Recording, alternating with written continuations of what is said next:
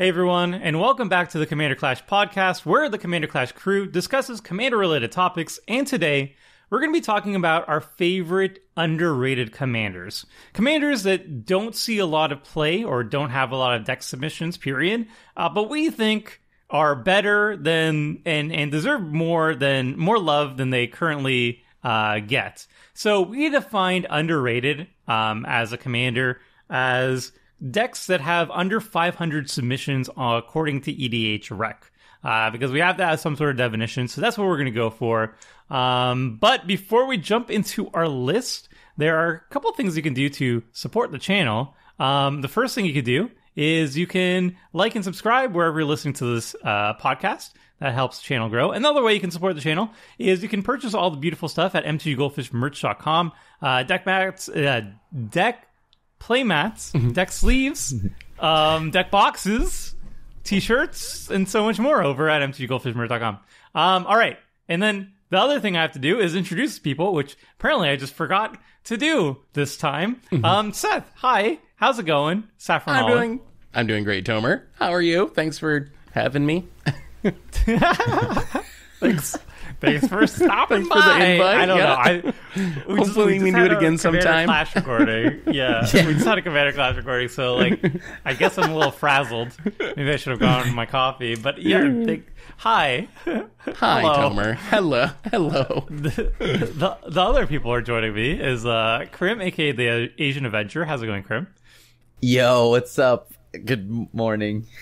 Good morning. Uh, that's incorrect for all of us. I I I've technically been awake because we did the clash, but also I feel like I'm the lights are actually finally on and someone's home. So oh wow. like yeah, like there's just some days That's where it just feels like autopilot. Yes. yes. Sure. Okay. I'm glad you But- are awake but- and bright. But I'm here. I'm here. Yes. I'm here. The lights are dimmed for me in my noggin. I need my coffee. But anyway, um, the last, but certainly not least, is Phil, aka Bruce Kitchen. How's it going, Phil? good evening for me. Uh, it's pretty late over here, and I'm very Yeah. awake still. It's like so 10 or Uh, 20 yeah. hour? half an hour until it's ten. Yeah. So that's fine. late. That's that's a good time. It's a great. Ah, no, not for me. Yeah, it's pretty much just starting over here. I'm a Oh, bit like yeah, Krim, although my schedule fits a bit better for recordings than Krim's sometimes. yeah, it connects with us a little bit easier. Um, sounds weird. We we need to find a cast member from like Japan or something, and then we will literally have every time zone around the world. Uh, around the world. Yeah. yeah. I I think I technically have Japan time zone friendly. Because my mornings here are link up with, sync up with theirs. Uh. Krim lives on Japanese time. He just happens to be in California. Yeah. Yeah, Yeah, I just- yeah, like, prepping I- for the move. right, because when I because I when I went and visited Japan, I was actually a normal functioning human being. I woke You're up like at waking like up at seven. It's like, oh no. Yeah, I got breakfast. It was wild, dude. It was wild. That's what I hope for Vegas. Actually, they just go there and have no jet lag, and it just cancelled out because I usually go to Yeah, bed at this- like this is normal three or four in the morning, and then it's like, oh, I can just Yeah. Continue with that. All right. So we got introductions done. Now let us jump into our list. I'm going to start with Seth. What what would you consider an underrated commander that you des- do you think deserves more love and attention? So we just did a couple of days ago a uh, a underrated commander commander clash. Uh, we had even stricter requirements. I had to be under 200 decks on EDH Rec, I believe. So like the the very least popular commanders. And I played Celestial Kirin, and I might have blown up everyone's lands and made everyone kind of sad, but I kind of love this card. It's four mana, three three flying, legendary Kirin Spirit, and when you cast a Spirit Arcane spell, you get to blow up all the permanents that have that spell's converted mana cost. So this is kind of like a mono white Spirit tribal commander. You can also play some Arcane spells, although Arcane a little bit awkward in mono white. There's not a ton of like super good support for it, but there are some like fogs and stuff that cost one mana or whatever, like Ethereal Haze. Uh, but the main trick of Celestial Celestial Kirin is there's a X mana spirit, uh, Ugin's Conjurant, which you can tutor up, and then if you cast it for zero mana, you Armageddon. Uh, you Armageddon. You blow up all the lands because Celestial Kirin was printed back before there was a zero mana spirit. So you get to just blow up everyone's lands. And since you're mono white, there's tons of synergies for this. In the game, we got to see Faith's Reward, reanimate all my lands. Unfortunately, Tomer ran really well that game and top decked a ton of mana and ended up winning anyway. But I think it's a really fun build around. I will say your playgroup will probably hate you because the only thing this really does is Armageddon. Like if you're not Armageddoning, I don't know why you're playing Celestial Kirin. Uh, but Yeah. as a as a once in a while thing to uh, just kind of get everyone. I think it's a really neat commander that deserves a bit more love and respect. I mean, Doesn't yeah. this commander just feel like a, a one off though? Like I feel like I, I don't. It feels like kind of like how I just don't. I get bo- I like I got really bored with Eureka, right? It just kind of like it does its thing and then that's it, right? So that, that's true. That is that is true. I wouldn't recommend if you've never built a commander deck. I would not say like go out and build Celestial Kirin. But if you're someone that has a bunch of cards and you got a bunch of commander decks, I think it's a good like fifth commander deck to you know once every six months pull out and just like get your play group and then stick it back on the shelf for a while, something like that. Yeah. you just went through a lot of hoops to just play a stacks deck. I'll just say. But it's creative. It's creative. No, stacks. no, it's true. It, it was I- funny. Like I, I I love that how funny funny. that was. Yeah, I, I thought it was great. But I, like, like- it's just yeah. like one of those ones where I don't know if I would build it in paper. It's like my thirtieth commander deck, right? it's a definition of like a one trick pony. Like you do the thing, Yeah. and people. Y- It's cool. It's obviously very cool. Like Everyone a very hates you. unique commander. but then, but then, then you, you move that's on. it, Happen right? anyways. Like everybody sees it. They're like, "That was cool," and then you don't really have to do that anymore. but like I- the the the opposite of it is like all the cards that you need for this are very cheap. Like Faith's Reward Yes. is very cheap. Celestial Kirin's very cheap. Ugin's whatever conjurant is very cheap. And then Mm. like the good spirits and arcane spells are also dirt cheap. So like So you, you- could to get a There's- cheap build on this. Oh yeah, There's you could- actually a downside to that, by the way, be- What? them being cheap. A lot of places don't stock it, and so you have to because like no one looks for these cards, right? So then you have Yeah. to go to your LGS or, or like and hope they have it and or order online. But if you're like ordering thirty two cents in singles, you're already paying for more like through shipping for the shipping. So like this is the only that's annoying about ordering really cheap cards. I swear. My my Well, deck overall was like 500 bucks, but that was like pretty inflated by a handful of cards. Like there was a Stoneforge in there, there was a uh, Avacyn, which is kind of good if you can get it down before you blow up everything. you get to keep all your stuff. So there was a few uh, Cavern of Souls I threw in there because it was Spirit Tribal. So if you cut like five cards that are not really essential, the spirits themselves are super cheap. So I think it could be like a fun $50 budget deck or a $100 budget deck because the spirits and celestial kirin those cards are like very inexpensive so i, I think that's have you ever seen Zombie Hunt in like modern? It's like the memeiest of meme decks where you play like Yeah. uh, Zombie Infestation and Treasure Hunt. Those are the only non lands, and you just mulligan to get Treasure Hunt, and then you get the Zombie Infestation, and hopefully win. It reminds me of that. Like the upside to that deck, it's a horrible deck. You never want that to be your primary modern deck because it literally just does one thing every time, and the thing's not even that good. Uh, but it's really funny once in a while in small doses. That's kind of how I view Celestial Kirin. If you can build a fifty dollar version of it, that would be just a funny backup deck to pull out once in a while and like get your fix of you know making your playgroup hate you by blowing up all their lands and then and then forget about it. But yeah, don't build a thousand dollar like Celestial Kirin deck unless you just have those cards floating around in your collection already. I feel like you also had some depth to it too. You had like a reanimator sub theme where you're running stuff like Karmic Guide, which is a spirit, so it also wipes stuff, but it gets something back. And you had like uh, uh I don't know if you had Reveillark, but you had you had stuff that was basically constantly getting your spirits back from the graveyard and sacrificing them for value, some like soul Selfless shift. Spirit and everything. Some soul, shift, yes action, yeah. like selfless spirit and remorseful cleric are interaction selfless spirit uh, protects your board from your own board wipes and then it's in the graveyard and you get it back afterwards so like with soul shift so like i don't know i thought i thought there was some depth to it And even beyond just wipe people's lands. Yeah, that, even beyond the Armageddoning, which is like the big calling card, there are cool tricks where you just like can use Soul Shift to get back the mana value of Spirit that you need to blow up like the biggest threat on the battlefield. And there's tons of cheap ways in white to make your stuff indestructible, uh, where you can just like not harm yourself when you're doing this. So even though the Armageddon is what kind of gets the highlights and what everyone focuses on, there are some other cool mono white Spirit tricks you can do with it too. Mm-hmm. And then you Armageddon them. And then you lose. and then you lose. Yeah, then you, then you lose. Got him. That was such a that was such a good win from you, Tomer. I love that. That was such a good Songs win. of the Damned, good card. Indeed. Uh, speaking of good shadow black man. cards, though, Phil, what do you got for us Oh, as your first choice? Yeah, I was kind of shocked to see this because this is one of my favorite commanders and one that I might consider building in paper next.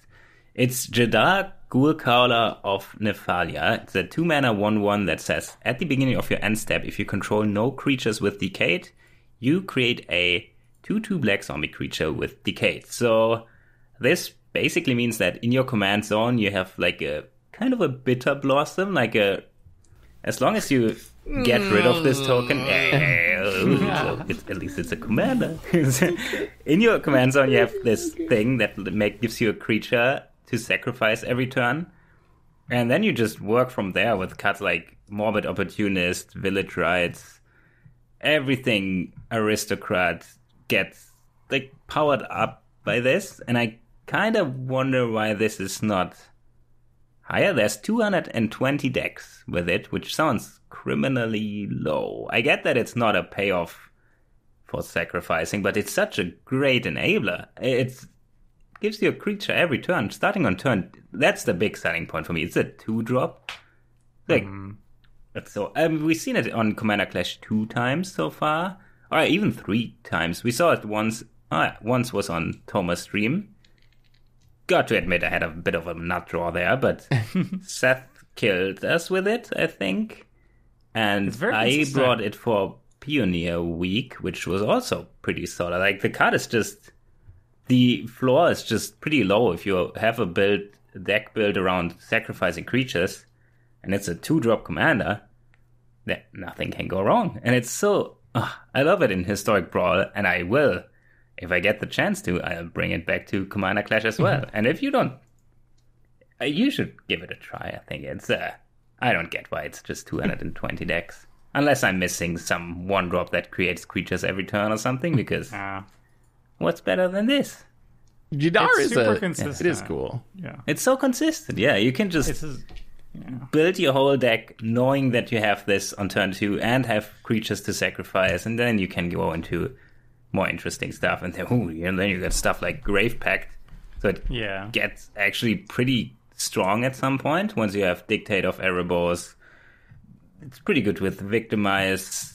Oh, it's I, so good. It is- I think the the biggest thing that that hurts it, I think it would be more popular if it wasn't mono black, just because mono black's Ooh, sure. primary thing is aristocrats, and then you're then Jadar's competing with Yawgmoth and like Ayara. yeah. and But stuff, for which are, you like- need the Bitter Blossom or something, right? You need For the stuff to sacrifice. you just No. you You need need stuff to sacrifice with it. anything. Yeah, yeah, but you need Yeah, anything. you need something to Jadar sacrifice just for but like the gives it payoff to you. is so crazy. Oh yeah, But yeah. Yog, Like, Yog Yawgmoth- is just yeah. To be is- fair, Yawg Yawgmoth is is the best card in wins. Jadar. Yeah. I'm not gonna undersell Yawgmoth. He is probably better, but Jadar is so solid. Yeah, it's a two drop. Yeah. I think Yeah, I, there's mean, just I a- mean, if you want to play Yogg, you just like swap to Jadar. If like Play the same people deck. Don't want to play against Yogg. Yeah, Yeah, the easiest swap in the world, right? Hidden Yogg Probably, commander.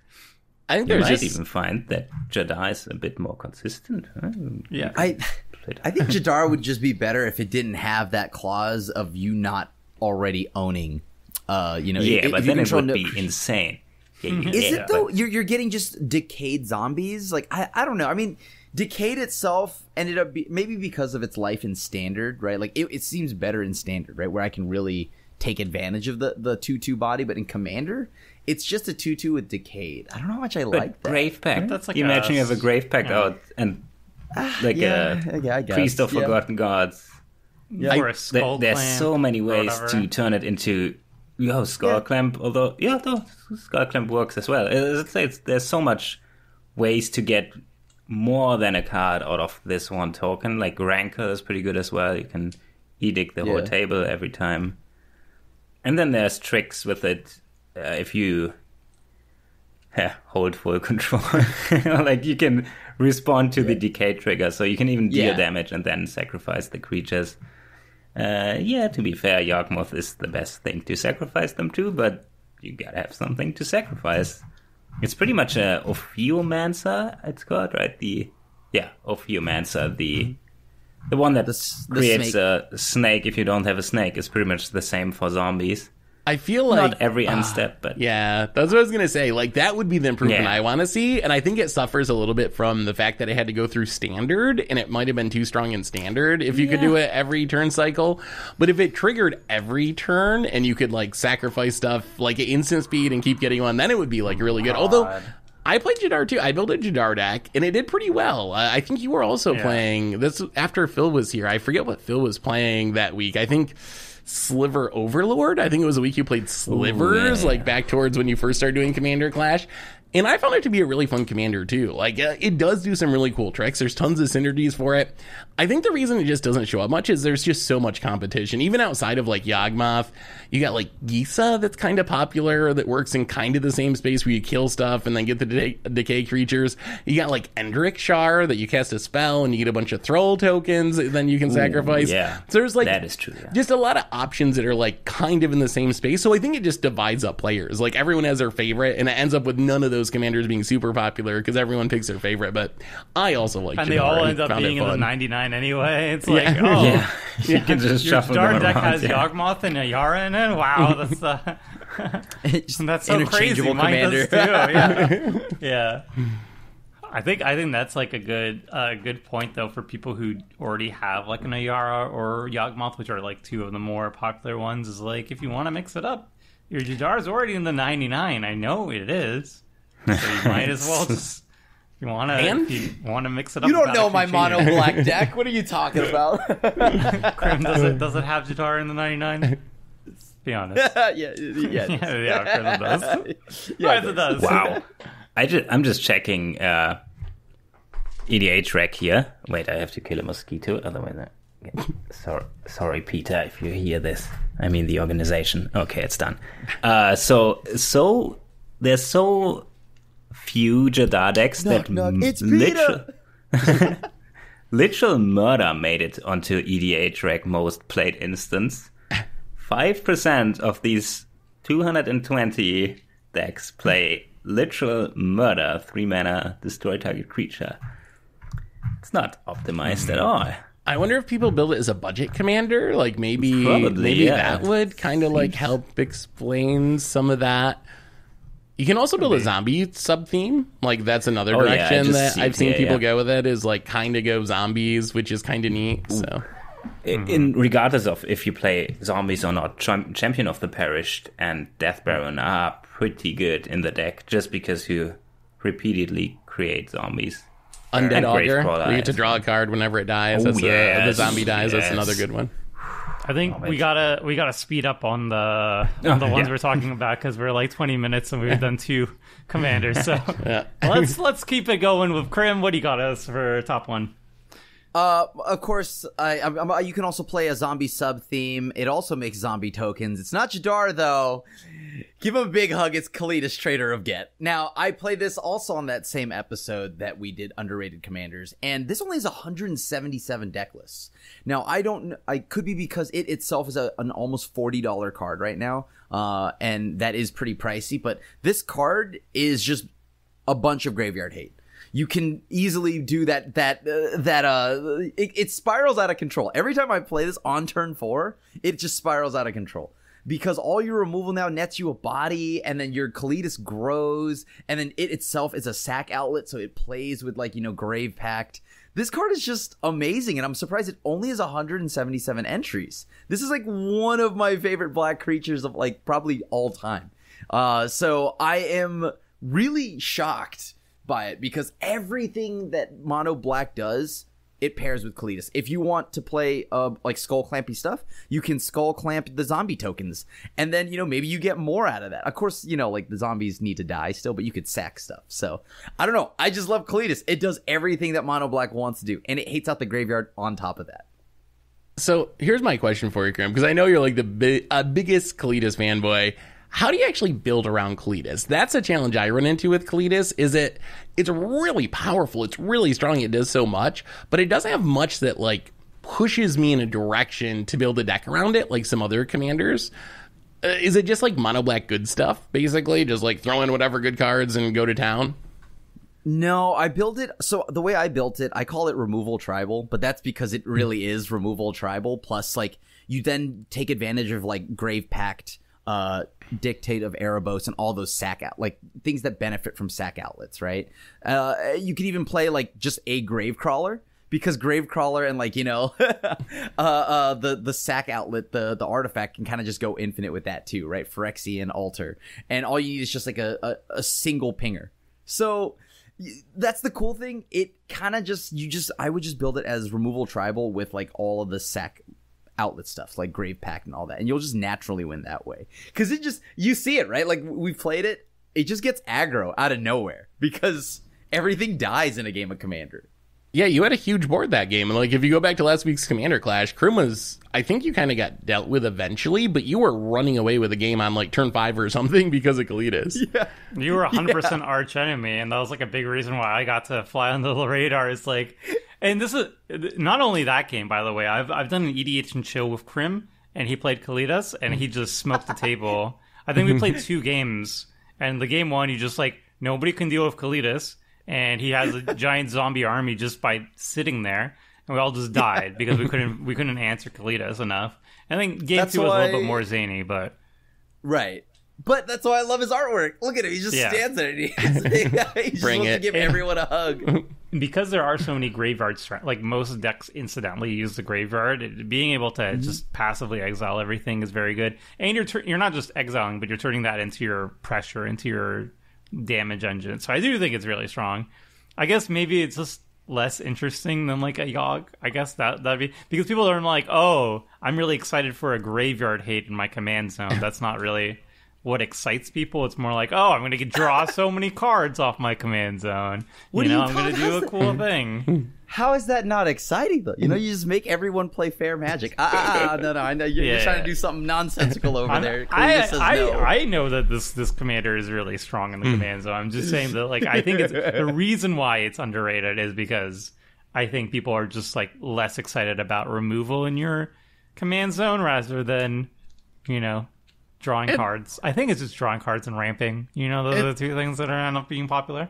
Honestly, I don't know if I should say this because Krim's gonna probably jump through the computer and attack me. It's kind of boring. Yeah, I think it's kind of boring. It's really. I didn't say that word. It's a really. didn't say that It's a really strong card, but Kalitas to me, it's just like a little. It's a little boring, but it's very strong. Like so, power level wise, certainly underrated, but it's it's not the most interesting build around for me personally. That's Sorry, that's Krim. fine because because it's a vampire, so it makes me think of what we do in the shadows. You could just call the deck Colin, and if you know if you've seen the show, you know what I'm talking about. The soul sucking vampire, the one that just he's so miserable and boring that he just drains everyone's energy. so it is fitting for you, Krim. It is fitting for you. You haven't you I haven't will sold me on building it, but just just call it Colin. That's it, and then we'll know. We'll know. Jeez. Jeez. All right. Uh, moving on. My pick. Apparently, we're all on the, the mono black underrated train because I also have a mono black commander for you all to per, per use. This is an old school one called Volrath the Fallen. This is three and triple black, so six mana commander uh, for a 6 4.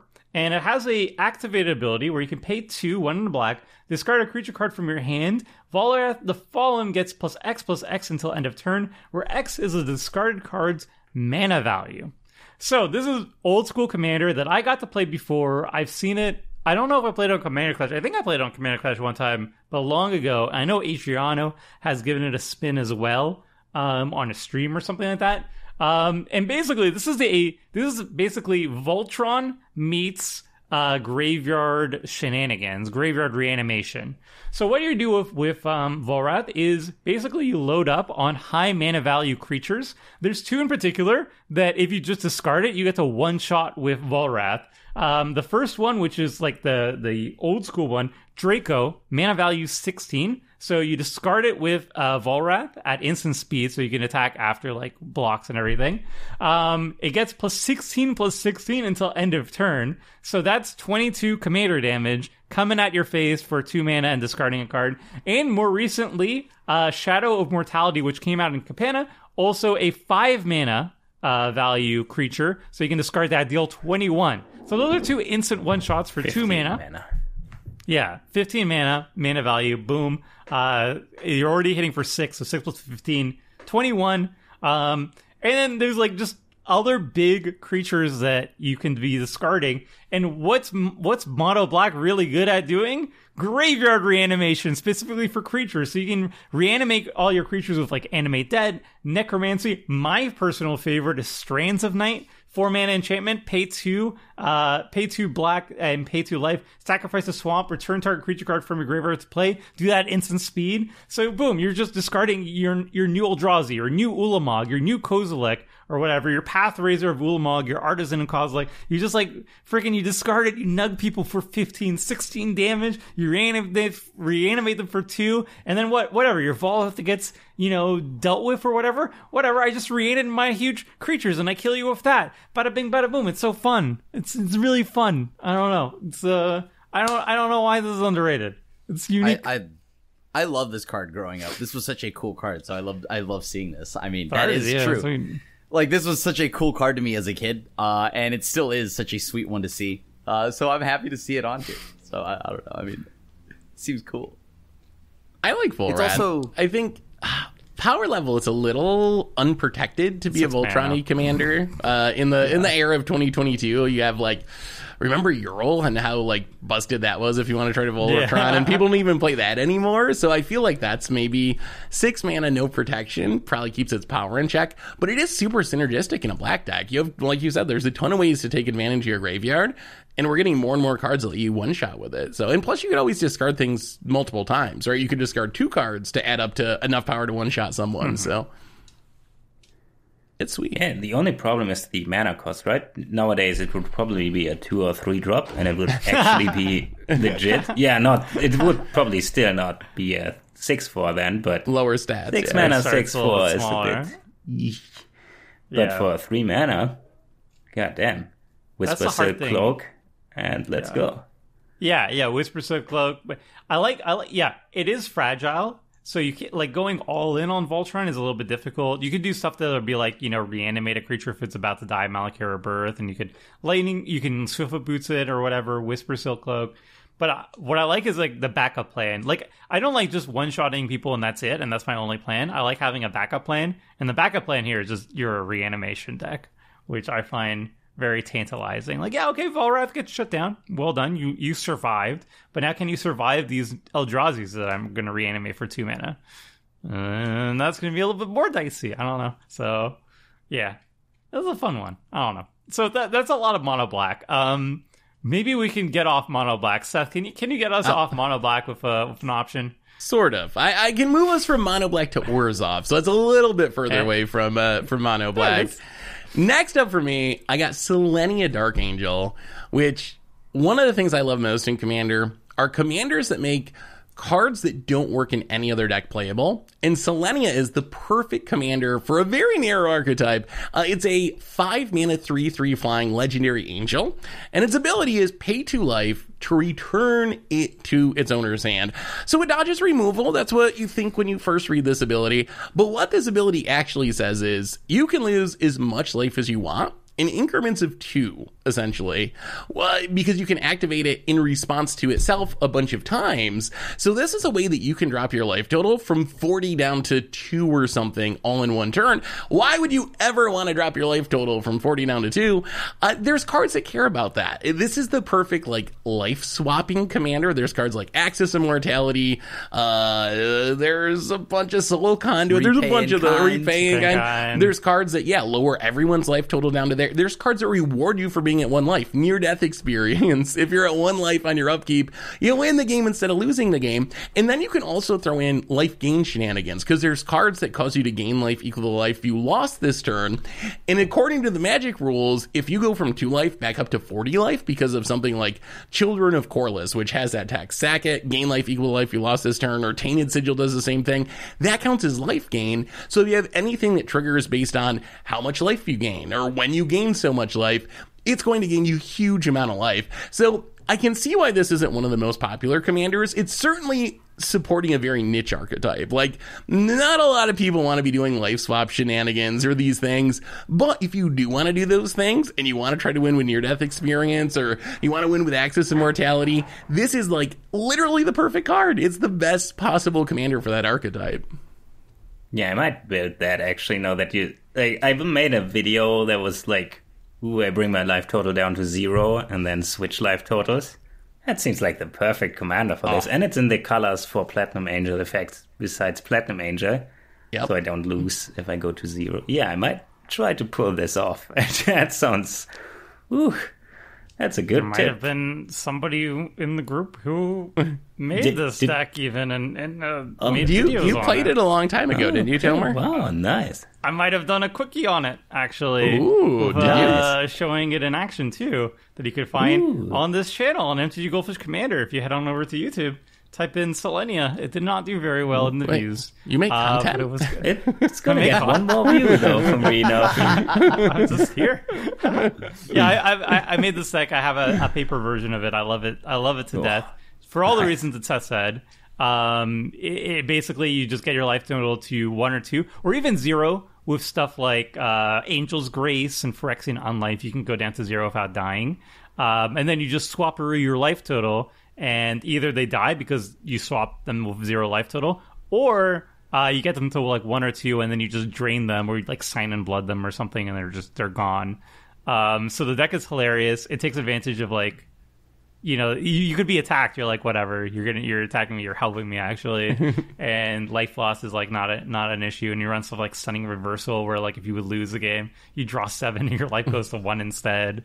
And it's like it's very silly. I think the only thing from my experiences is someone like Krim is like your mortal enemy. You're probably just gonna auto lose to Krim because it just Yeah. loses to like uh like a counter spell, right? Like if you do your big life swap thing and it gets countered, that's it. GG. Like you have to you have to like tutor up your Boseiju first and then go for it and be like can't be countered or like Grand Abolisher, you know, you have to set that up. But like, yeah, if Kr- if Krim was at the table and we were like choosing what deck to play, I would not grab this one first. I would put this to the side. I mean, it is a risky strategy to go down to two life. Things can go wrong, uh, like a counter Yeah. or uh, some sort of burn spell at instant speed. So it's certainly high risk, but it's really cool when it works. If you like uh, Really? against the odds style decks or whatever, like this is like commander against the odds at its best, I think. And you can play around Spike it. Field hazarded out of the game. You go Yeah. to one or something, and then you know You Seth can play one. around it. Like if you know somebody's having it, then you got like Angel's Grace in your hand first before you do the craziness. Yeah, yeah. Or if you know somebody has counter spells, you, you tutor up the Boseiju first before, or Grand Abolisher first before you go for it. But like, yeah, it is it is very high risk, high reward, I will say. And yes, Phil, if you if you're building it, I'm, I'm you're gonna welcome, check out this video for sure. Yeah, brother. that sounds sweet.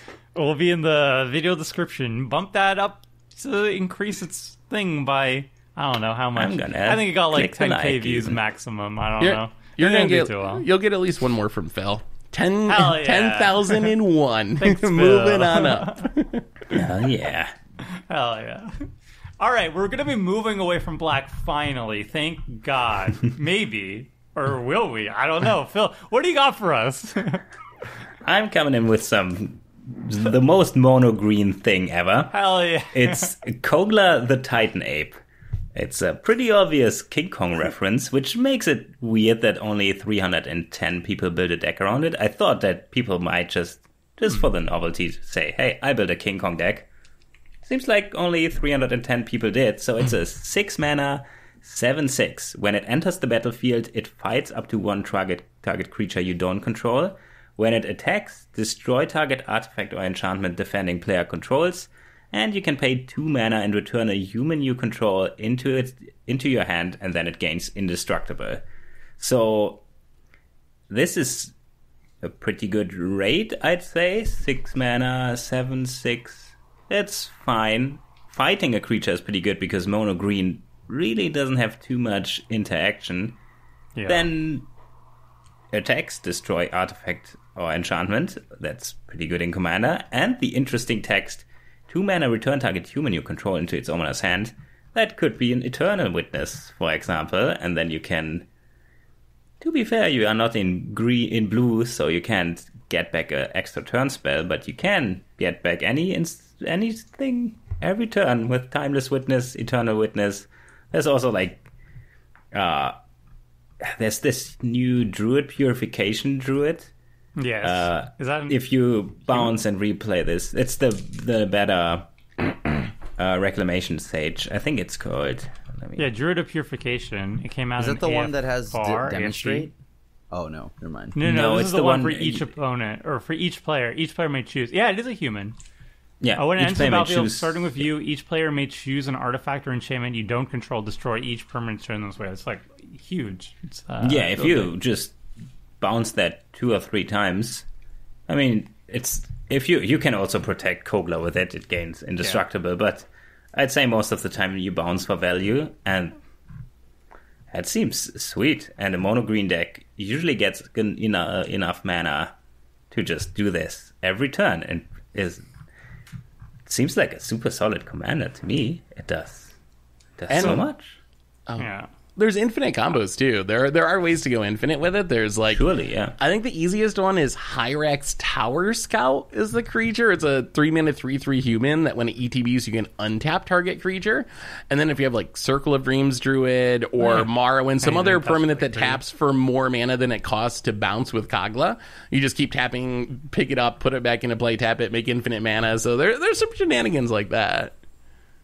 I will say Kogla is one of my favorite green creatures, and I put it in a lot of decks. But I put it in the 99 of a lot of decks. Yeah, And I think same, that's that's actually. that's like the recurring thing with EDH Rec. Like you can see, if, as a as a card, it's very popular. Four percent of all decks that show up, and that like I mean that counts like non-green decks and stuff like that. So four percent is pretty high. But as a commander, eh, I don't know why. I I don't know why. I mean, I play it in Lonis, which takes a bit more advantage of its bounce effect. Yes. So that's a bit of extra value there, but it's just a super solid card in general. Maybe that's it. Maybe people just don't think of it as a commander. I kind of just want to try building it. Actually, it seems so solid. That might be part think of it'd it. be just like a very good control deck, right? Like you can Oh, you can definitely use control. it, but it is Yeah. it is like that removal thing. I think that's like the Kalitas Yeah. syndrome. Is like people Yeah. are like, well, I want my commander to draw cards and make mana, mana Yeah, advantage sure. and card advantage, baby. And this one's just like, I blow mm-hmm. things up very well. Yeah. And and, and which is fun.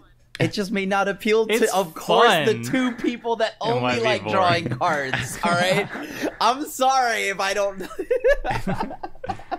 It doesn't Uh. make it doesn't make mana or draw cards, and my command zone does not compute. yeah.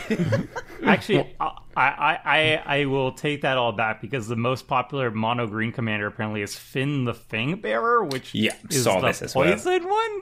I mean, people It's do love solid, poison. but it That's doesn't- trouble. It doesn't fit my criteria, so I think my, my theory is out the window. Actually, Although Take it Yeah, I was back. shocked about this one. Number number two, Selvala. That makes mana and draws cards. Marwyn makes Yeah. mana. That's number four. So I, I don't think you're fully off oh, base. Those are boring. Oh my god, those cards are so boring. I do think they're more boring than Kogla to be straight up, but like, yeah, it's more of a, a more of what like the format's all about is like you gotta the two most important things. all about. the format's all about mana slippery advantage slope. and card advantage. That's But true you're in though. green. Okay, I mean, you're in green already. You don't need any more mana advantage. The card advantage. uh, Green can't draw cards. Haven't you heard? It's impossible. You can- Harmonize is the only thing we have. Oh yeah, is there a green I human like that Kogla. ETB draws? I like Kogla too. I, I feel like this your would be a- Kogla. I think it's fun. I think it's entertaining. I love the removal aspect of it, and I love that you can just Donkey Kong punch somebody. like, like, I feel like this would be That's sick. Krim's mono green commander if he was forced to play mono green. I probably would be like no joke. Now, how do I do this at draw ghost speed? Hmm. now, if I play Yeva in the 99. right, right. I mean, you probably are. You have a sick though. You have a sick. Like that. That would be actually my number one mono green commander. All right. See, I know, I know. All right. Uh, wait. Who is it on? Oh, it's on me again. Um, hi. I got something spicy that was played on Commander Clash. Uh, it's Bell Borca Spectral Sergeant, and this is another uh, commander that I have um, in paper that I think is really good, and yet EDH Rec people on EDH Rec do not agree with me because it's only 301 decks. Uh, Bell Borca Spectral Sergeant came out in Commander Legends like three years ago. Uh, two bl- uh, two red whites of Boros. Uh, asterisk five out of five. I can't speak right now. You know, power is is is asterisk. Toughness is five. Um, note the mana value of each card as it's put into exile. Anybody's. So that's a little bit annoying. I, I understand the annoyance there. But uh, its power is equal to the greatest number noted for it this turn. And at the beginning of your upkeep, exile the top card of your library. You may play that card this turn. So essentially, Bell Borca is a little bit of card advantage. She's kind of like a Phyrexian altar, where every single turn you get to exile a card and you get to play it that turn. So it's impulse draw. So card advantage. But the big thing that I like about it is that power it gets huge. It, the, the largest thing they got exiled this turn is what its power is. And so, um, you know, whatever you exile, obviously with Bell Borca is going to be its its standard power too, which could be high. But there's a lot of things to game um, the system here, where you could, for example, exiling is is it means a lot of things. You can exile it by doing impulse draw, but you can also exile stuff by like you know path to exiling somebody's creature, and then that's exiled. So that's Bell Borca's uh, power equal to that uh, mana value. You can suspend stuff like or Gargadon, and then pay one mana to make it ten power. Uh, but my favorite of favorites is actually cascading. Cascading, when you cascade and you you cascade into a card, you're actually exiling those cards temporarily. They're not permanently exiled; they go back to the bottom of your library. But everything you you see but don't hit with, uh, those are temporarily exiled, and, and Bell Borca will see those. So, for example, if you cascade some small spell, and ooh, what was this? I saw a Draco, and that's a 16 mana value thing. Well, Bell Borca is now 16 power, and you smack people over with that. Um, there's also spells that cost way less when you uh, cast them, like volcanic, uh, Vol- volcanic salvo. Volcanic salvo, 12 mana value, but it costs X less to cast, where X is the total mana value with the total power of creatures you control. So if Bell Borca is uh, big and you have some other big creatures, you can cast this for two mana, and Bell Borca is going to see it and like, well, nah. Um, you you deal six damage to it, but if you cascade through it, it's still a twelve mana value thing. And there's also stuff that lets you exile uh, cards from your from your hand, um, and that works out too. Like blazing power, blaze blaze and power, or something like that. No, blazing shoal. Uh, X and double Ooh, red. bend. You can uh, exile a red card from your Oh. blazing shoal. That's the one. I got there in the end. You you may remove a red card from mana value X or less or X from your hand rather than pay its cost. Target creature gets plus X plus O until end of turn. So you get rid of a like blazing salvo, which is twelve, with uh, blazing Shoal- I got there in the end, Krim. All right, I got there in the end. No, no, I'm just laughing because like this whole deck is like I'm just It's thinking- stupid. No, It's great though. it's like one gigantic 420 meme. Also. Fair. th- this has also been a great podcast for Draco. I don't think Draco's gotten this many shout outs and Draco's like great. yeah, we got all these sneaky uh, sneaky ways to one shot people of Voltron style. I remember this commander Tomer. We did a didn't we do a gift episode or something where you Yep. made all of us the decks Yes, I and made you it for gave you, me? and then you never cast your command. I never. Well, yeah, I mean, yeah. Who who does things like that? I, I've improved It's since like- then. That was a while ago. That was a, that was the old Seth. But I gifted you a Voltron commander. You didn't cast him. You didn't cast the Voltron. How does this deck win? yeah. that was so sad. yeah, so You know the you know the TikTok meme where it's like where there's a lady and she's watching the video like where does this where does this shape go into and she's like it's a square hole. And he's like you're right it's a square hole. And it's like where does this one go? And she's like the triangle. And he's like that's right the square hole. And, she's like crying. She's like please the cylinder it goes into the cylinder. It's a square hole. That was me that was me Watching watching, me play you that deck, pilot.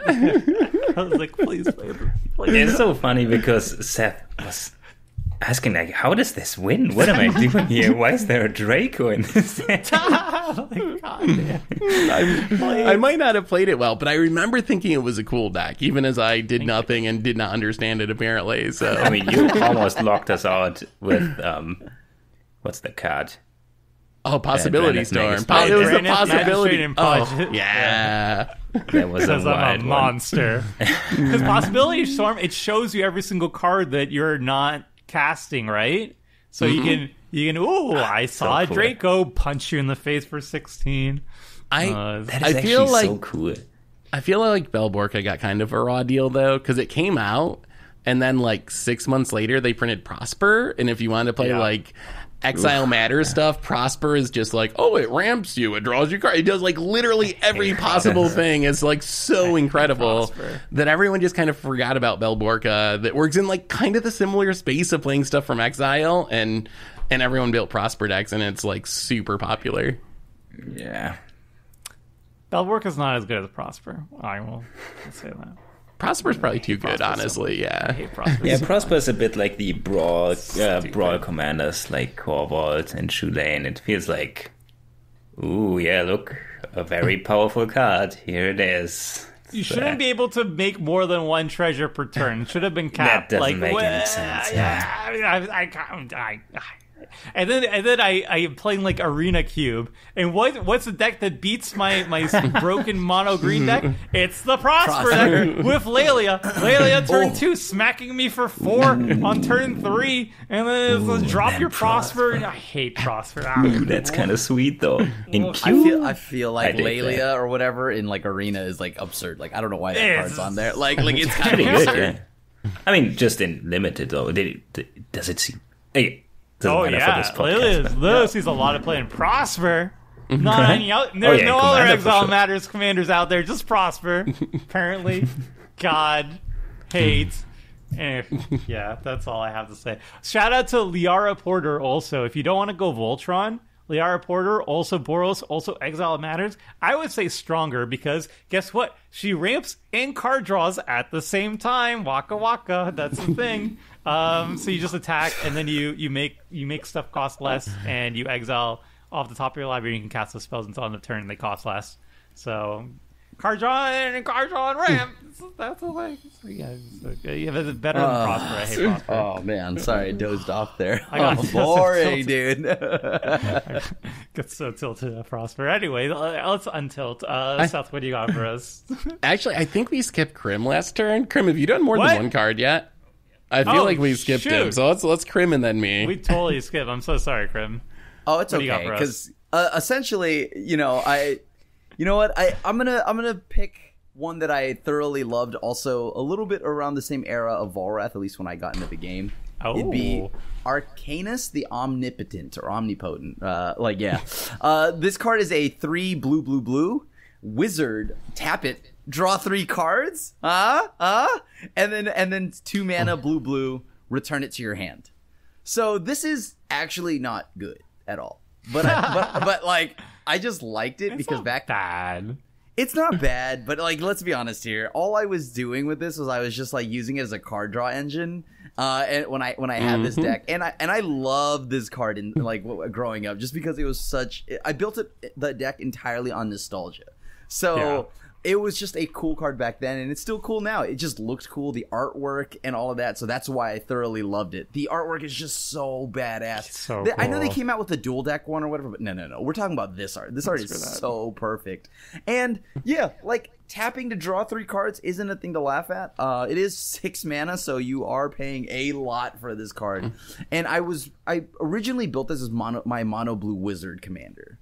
Um, just because I didn't, you know, of course you could always build all the other ones like a zombie and things like that, but this one's cooler. All right, so I, I don't know if like this is actually good. I mean, when I was told, I we could also pick some cards that I thought were underrated, uh, and I like and and I Oh, yeah. chose something that I I just had fun, right? Like I had fun with, and this card has only what like yeah, it has 316 decks, so yeah, it doesn't do anything fancy, but it does what Tomer likes to do, and Seth it just taps and draws cards. You know, When I- and uh-huh. it's a three four. It's got a big body for the usual threat that I play. He's, When I- he's fine. You could mind over matter combo too. Like you can Yeah, yeah, yeah. untap it. There's there's ways to like draw your deck and win with Lab Man or whatever, but I used to Oh, just play this card for value all the time. I don't know if I ever built a commander deck where this was at the head of my deck, but if you go back to the early seasons of Commander Clash, so many of my decks I would just play the random like the value arcana is just be like I'm gonna I'm gonna tap this and draw three cards and if no one kills it next turn I'm gonna do it again and like this is the best thing ever. It was like the worst consecrated Yeah. sphinx of all time. He's but honestly the- not terrible, but yeah, he's just expensive. Uh, Because compared he's a to consecrated worse, strings. Yeah, because he's wor- a worse version of that, no one kills it though, right? That's like he's true. not high on the threat meter, so every turn I just draw three. Um, and, and and sure, sometimes I never get the mana to cast it, but like you know, whatever. But the the card itself is very non-threatening, so no one looks at it really, and you just sit there and you just accrue value. And yeah, like it- like Tomer and everyone mentioned, you can mind over matter. You can easily untap and do this thing over and over and over and over until you draw your whole deck. But just playing it fairly is also really fun. Yeah, is it unthreatening though? I think that if you hit if this kill hits it. the battlefield, I'll say, oh my god, Krim wins when he untaps with this. Just because the raw text draw three cards just sounds like something I want to do and gotta, you don't want you to do. with him, right? Like he's not just gonna draw three. Yeah, but Yeah. if you if you see, yeah, but that's the point of saying, yeah, it's not Yeah. a threat. Yeah, I, I don't care I- if it's- it's if he respect it. untaps with it, it if, if it's not a threat. I'd be most a most bit people don't don't see it as a threat though. Because like, It's what is definitely not like a prosper or anything. but It's also a bit sus if you play it When- like, oh yeah, what are you gonna do with this? You know, what are you doing? Why are you playing Arcanis of all things? Yeah. You've been playing. Nostal- artwork.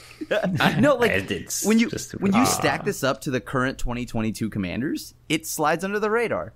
Like oh, look at everything Yeah. that sits around. Like y- sure, you can think about it on just like the raw stats, uh, like or what its ability does, draw three cards. But I guarantee you, this will be the lowest on the threat meter when you look at any of the other decks sitting at the table on average. True. And I think if you want to build did- wizards, it's like safe, like pretty low down on the Yeah. wizard tier list as far as what I'm scared of compared to like Inallas and Azamis and like just all the really strong wizard commanders. So I think compared to those, it is like not going to draw as much heat, hopefully. Yeah, yeah. Like it was, it was Volrath, this card, and like I think uh, Shadow Mage Infiltrator. Those are like my favorite cards growing up. I, I I am 100% on board with you because this was one of my favorite cards growing up too. Yeah, Like Yes, the same. art, the art, the the mysterious lore. Like he, he's basically book. like he's kind of like he has like Boba Fett vibes. You know what I mean? Like Yeah. where, like he has no face. He's a the Disney. Plus series. Yeah, yeah, yeah. yeah. Before that stuff. We don't talk about that though. That's that's fine. He he's always mysterious to me. We've never seen his face before, and we don't know his origin. And like even even the new like I like I like the previous uh text, but like even the tenth edition one was good too. The flavor text. Do not concern yourself with my origin, my race, or my ancestry. Seek my record in the pits, then make your wager. Because he's just like a gladiator type person. Onslaught Yeah. was so freaking cool, Yeah. coolest set. and the art And the- is sick. And Grinning Yeah. Demon was in that. Oh my god, dude! What a cool set. What a cool What do block. you, how much mana would you pay for this effect? Like tap three cards on a 2020 design card. Like Four mana, five mana. you think so? Like five mana? mana would only be one less. But then I'd say, ooh, that's pretty scary. If in the control deck untaps with this, it's over for sure. Control If deck's it's not five tapped. mana. If this gets vanishing verse, control deck's not untapping. They're not going to tap out and play this Sure. card. Maybe I think unless the it had 22 flash. I think the 2020. Well, we could see like Nezahal is one of the more recent ones, Right. and that's like seven mana, but it can't be countered. But it's I think its its protection is more relevant. Nezahal seven mana, seven seven can't be countered, no maximum hand size. And then whenever an opponent uh, casts a non-creature spell, you draw a card. So you could draw a lot of cards, but its protection is really interesting. also You draw discard no cards. three to exile it and re- return it back to the battle with tap. So I feel like a new Arcanis would be like instead of pay four, return it back to hand, it would just be like discard three cards and then uh, you know phase it out maybe and it'd be Ooh. uncounterable. and Yeah. uncounterable. But I don't think you can lower its mana cost that much. You can Sure. maybe make it a Yeah, five. that's what I mean. Yeah, like I the mean, raw tap- tap draw draw three three cards is rough. Yeah, that's But as is right now, not changing anything. I think they'd have to lower this mana cost in order for be like a, to be a real card, like four or five mana is what I. I make it five. four man. Four might four might be all right. Somewhat four and a half somewhere in there. Yeah. you, you gotta you gotta see like okay ah, first off this dies to like everything right like it actually No. dies to everything No, What? it literally doesn't. It doesn't that to three damage board wipes, for example. It's a three four Sure, is okay sure. stats. Baba- but like everything in blocks Orzhov kills it some- everything that that is like it, it all falls under uh like Like you mean all like the removal Mr. removal? I have It's a fierce creature. guardianship and I am in counter magic dot deck.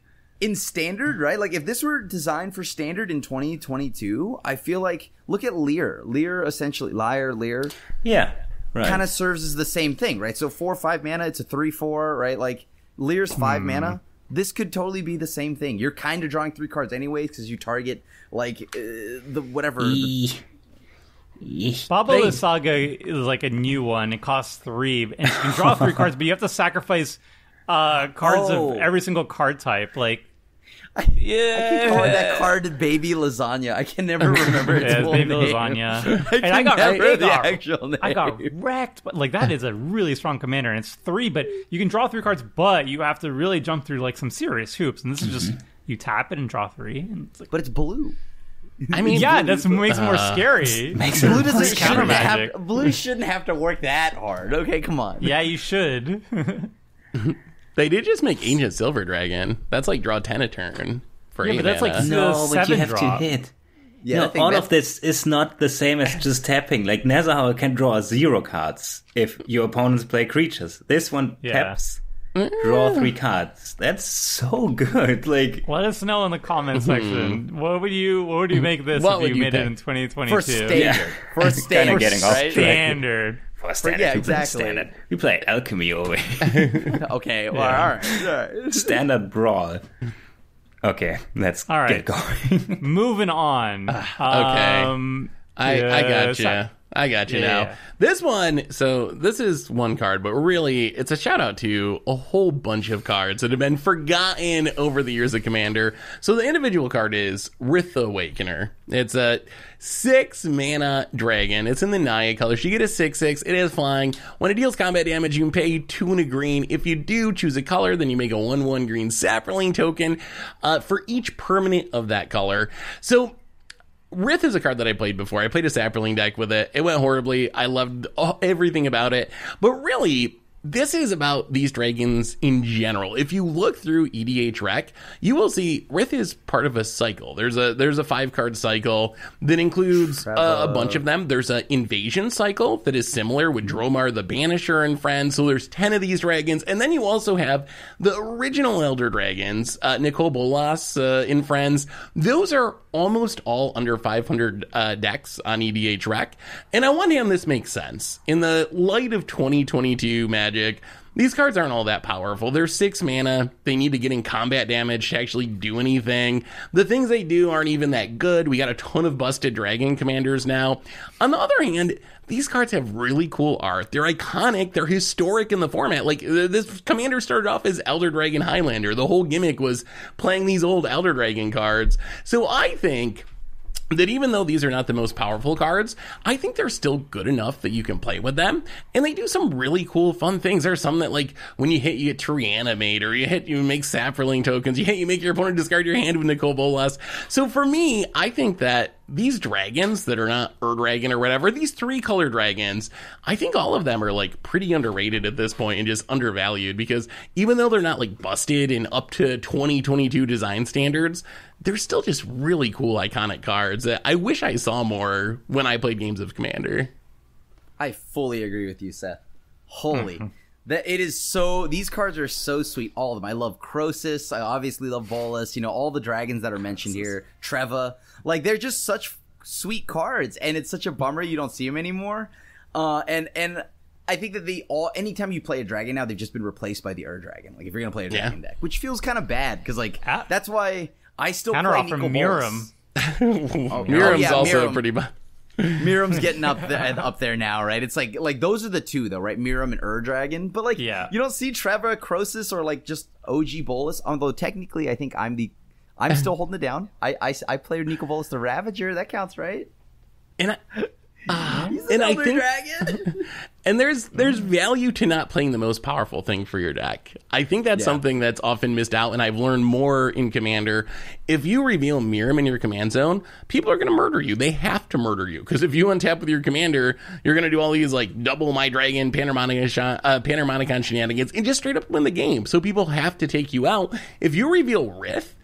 I'm gonna like be rooting for you to get in and make some saprolings. Like, I not only am I not trying to kill you, I actively am like happy to see your commander in the game that I'm playing, and we're probably gonna be friends. Maybe I target you with my like secret rendezvous or whatever, just because you're playing like these sweet old dragons.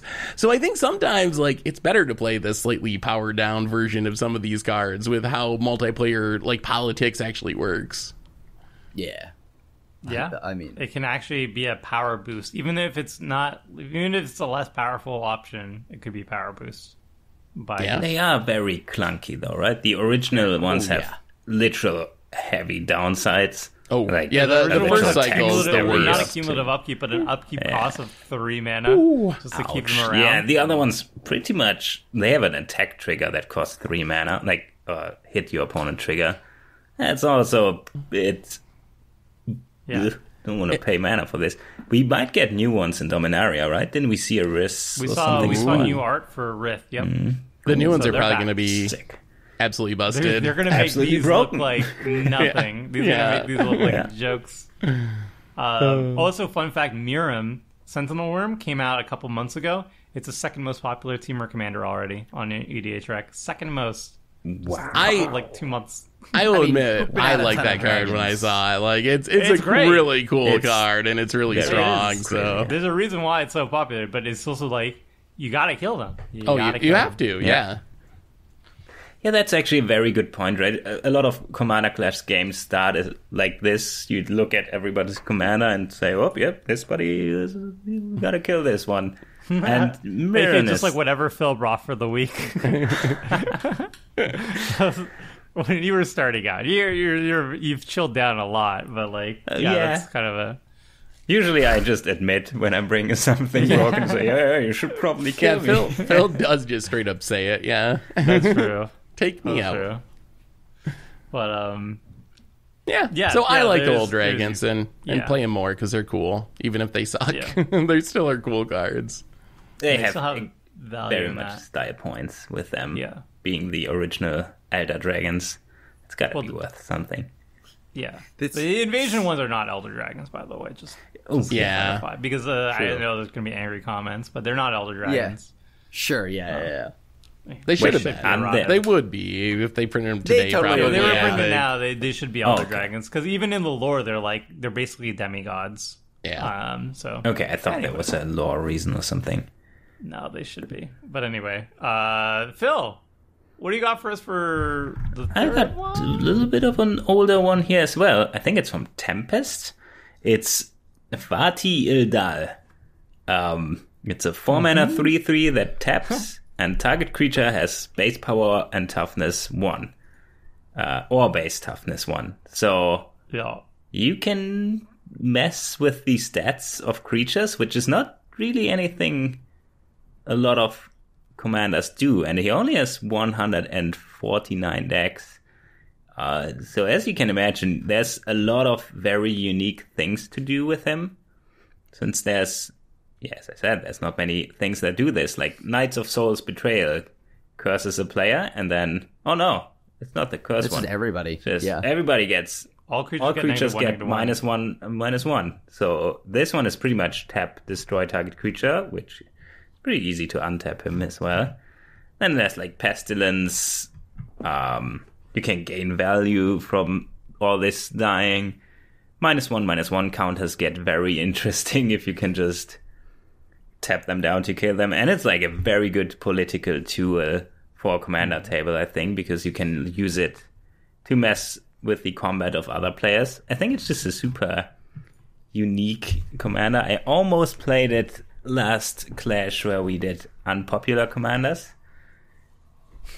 but I didn't. So uh, yeah, I it's cool though. one of my all-time favorite commander decks I've played was the was actually a Vhati il-Dal deck. It was a, a planner week on Commander Clash where we each had to only play with cards from a single plane, and I had Rath, so it was like all the Tempest cards and some other old blocks. But I played uh, as my commander, and it ended up like going off in the game with like Bullwhip was like the big card. Obviously, the deck was limited Bullwhip. because because I couldn't I could only play stuff from uh, from this one plane. But Bullwhip is this four mana artifact that you pay two and tap it, and you deal one damage to something, and that thing has to attack.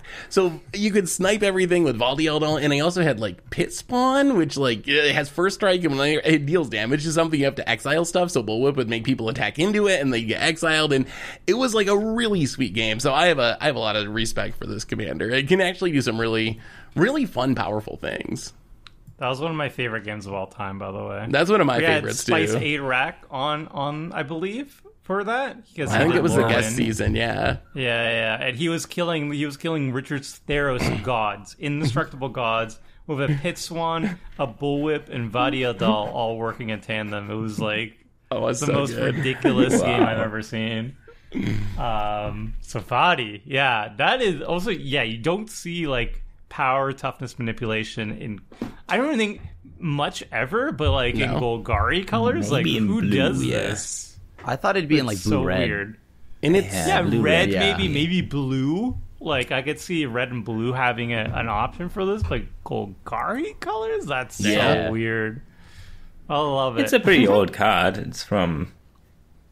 I think I Tempest should probably originally. find out from where it is. Originally Tempest. yeah. Tempest stronghold. is. I don't know.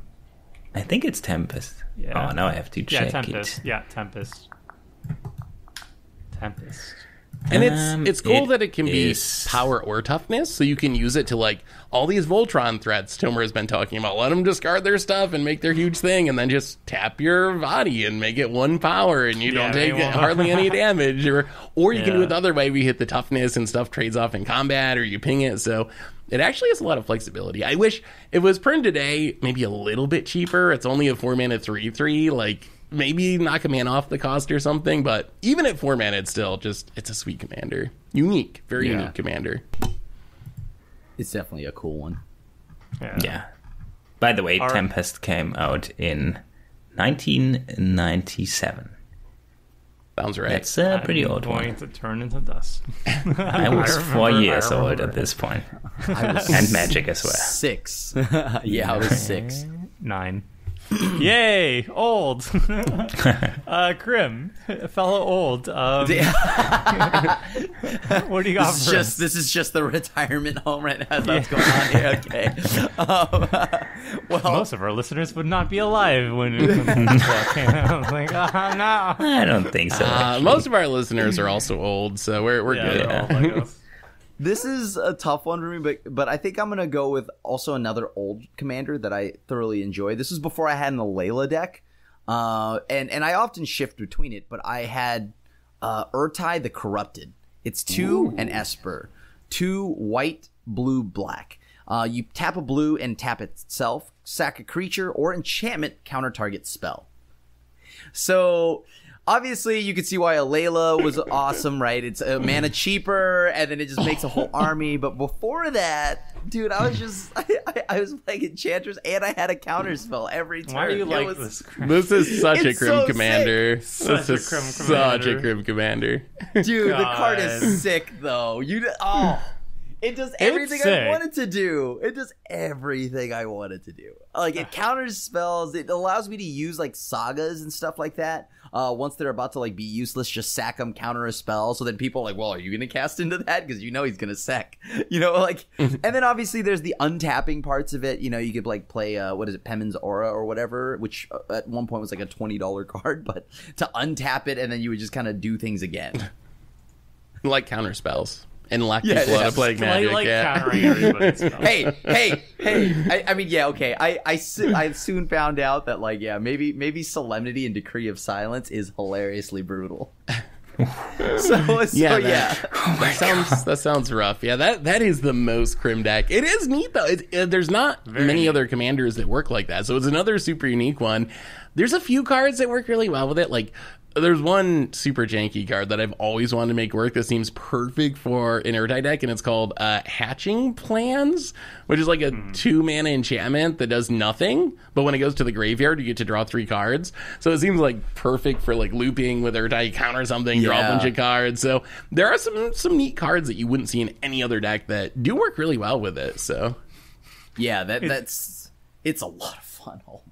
I I definitely respect it, and I'm very like interested in it, as long as I'm not playing against it. yeah, yeah, it's, know, it's like- a good good deck like, to wow. bird.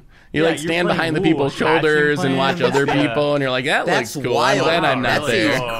cool. what a cool commander! I've never seen these Yeah. cards before. Have fun, you guys! Yeah. And they're just Yeah, like, see you later. "Wait, please, let This me thing- die. It's so fun though. You- oh my god, this is like Enchanted Uh, Evening. You put on Enchanted Evening, you always have an enchantment. Whee! No, man, Like I'll, please. L- I will LD myself to make sure that. Just kill me, please. But yeah, this is just now a card I put in Alela because Alela makes creatures that you could then set. yeah. So I mean, we are getting a new Ertai soon, so maybe, yeah. Maybe there's a new chance for a new Esper Enchantress thingy going on. Look, I just have a th- I, I have a thing for overcosted three four wizards. That's all. I, I- so far, that's all I've gathered from this podcast. and the three four, they're pretty good. I I would love to see Esper Enchantress supported by a less miserable commander because we don't really mean, have a lot of Alela's support for that color combination. Yeah, I guess. Yeah. I, I think it's the hmm. archetype that's miserable. It doesn't matter what's at the helm, right? But, I mean, but I'd you rather, add in I'd rather play repeatable against counters. Leela than Sythis. I don't know. Yeah. At least, at least, at least Ertai, you can just kill it, and they're probably not going to get it Yeah. back up. it is But set like, like it's like I kill mana. Sith is like, oh whatever, I'm in green, I play for four minutes. Yes, see, I Sith win. is- Sith seems like one of these custom cards. I'm just ignore this and just. It's gonna be I forever mean, it's the it's greatest great fun. commander I think you'd love it, Phil, but also Oh, I played it. Sometimes I play historic brawl, like see historic brawl, like I embrace the most broken stuff, and then I play mm-hmm. against the most broken stuff. That's fine, but yeah, some cards. Sometimes you gotta chill with the mm-hmm. power level a bit when card designing. And Sythis was definitely no chill, all the way to the bank. Like two mana artifact draws cards when casting artifacts. Why? Doesn't make sense. and that's and that's why we have underrated commanders. Hooray! If you want to chill, check out these these Play, lists. play an old dragon. if you want to Yeah. chill, yeah.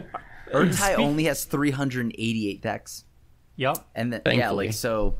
Th- thankfully, I mean, to be fair, you kill it once and then it's probably yeah. Yeah, and then what? You're not done. you're not green. It's not like you're recasting anything Yeah. soon. It's just I- you got to kill it once. You got to get it before he has the counter magic. I think it's the principle of what the card does, not actually how powerful it is. I think Yeah. that's Yeah. why people don't like it.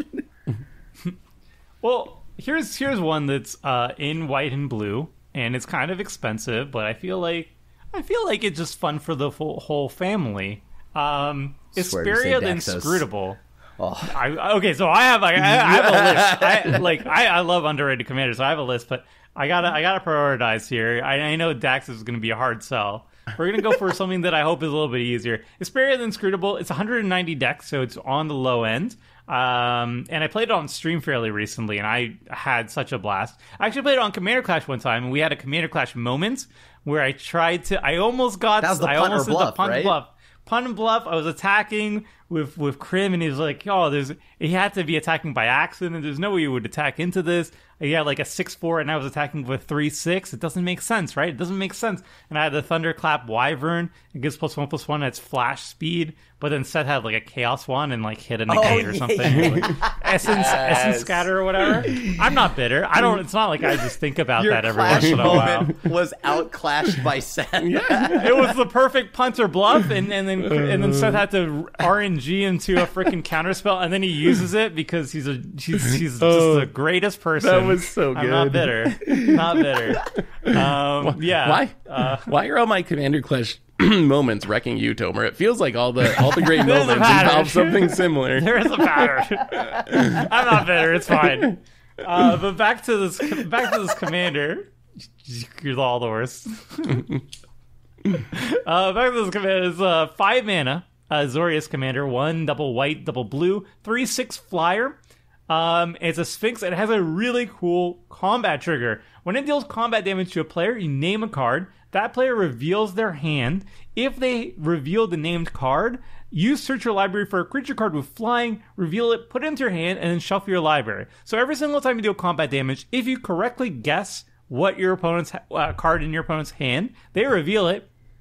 So now that knowledge is known to everybody, uh, you got to tutor up a flying creature card and put it into your hand, which is incredibly unique. I don't know if there are any tutors for f- specifically flyers. So every single time you deal combat damage, you could be tutoring up a creature, a flying creature. So this like lends itself very well to flying tribal. The version I did uh, was actually Sphinx Tribal with Unesh as the hidden commander. Unesh is makes all Sphinxes cost two less to cast, and then they have a mini Fact or Fiction, uh, mini Fact or Fiction of four. So you reveal you reveal the top four cards. You let the opponent sort them into two piles. You choose whichever pile. One of them goes into your hand. That the other one goes into the graveyard. So you go into Sphinx Tribal like that, and that's super fun.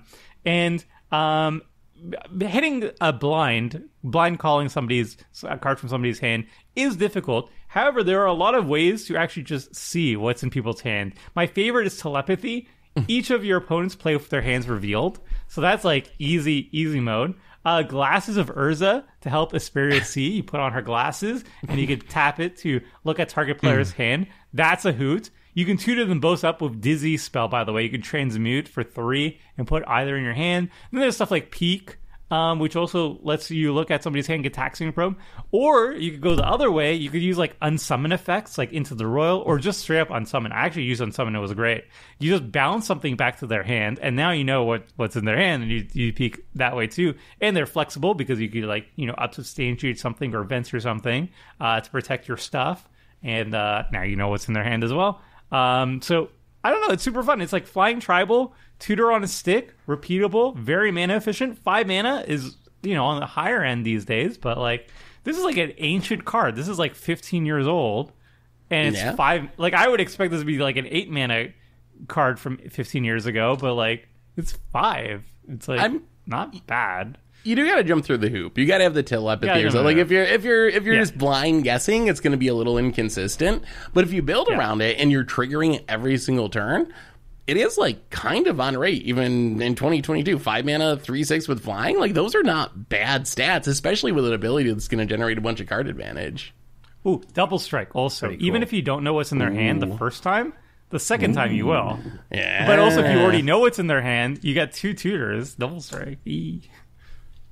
That's You can also you can also play one of my favorite bad cards, uh, Spy Network.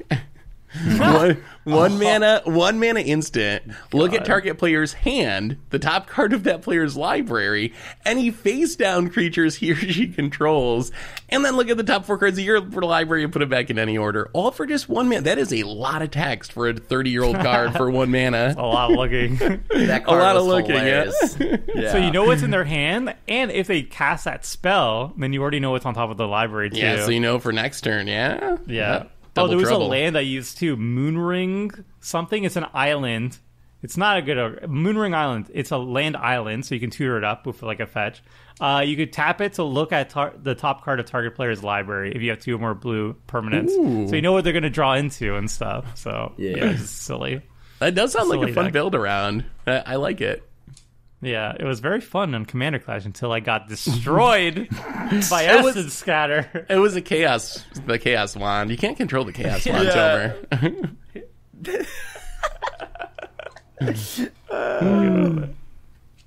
All right.